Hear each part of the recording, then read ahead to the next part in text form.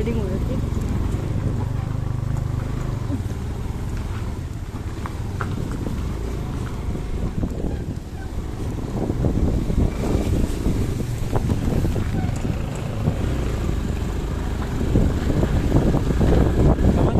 ड्राइविंग का टेस्ट होगा